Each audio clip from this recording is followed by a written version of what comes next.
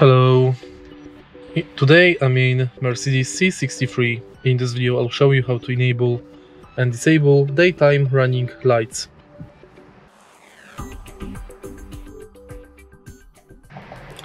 In the beginning let's take a look at the instrument cluster display and go to settings.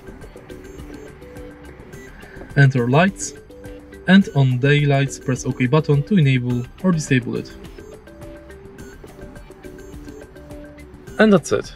If you find this video helpful, please leave like, comment and subscribe.